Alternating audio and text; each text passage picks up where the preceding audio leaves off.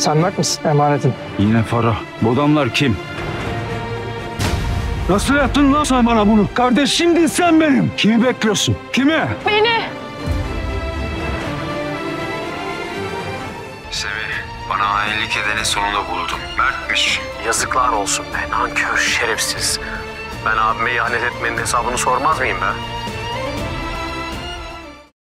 Herkese tekrardan selamlar arkadaşlar.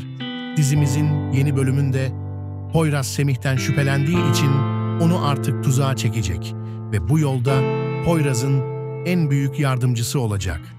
Fakat Semih sonradan uyanacak ve Nana ile Poyraz'ın tuzağını kolay kolay düşmeyecek.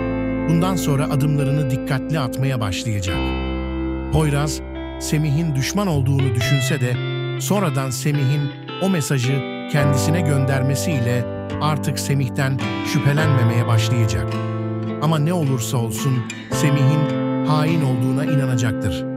Semih'ten şüpheler gittikten sonra Poyraz'a Mert de oyun oynamasını söyleyecek. Bunu duyan Semih okları Mert'in üstüne çevirerek onu hapse atan kişinin Mert olduğunu kötü planlarla gösterecektir.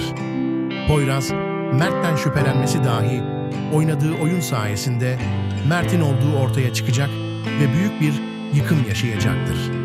Evet arkadaşlar, bu videomuz da buraya kadardı. Videolarımızın devamı için kanalımıza abone olmayı ve videomuzu beğenmeyi unutmayın. Diğer videolarda görüşmek üzere, hoşçakalın.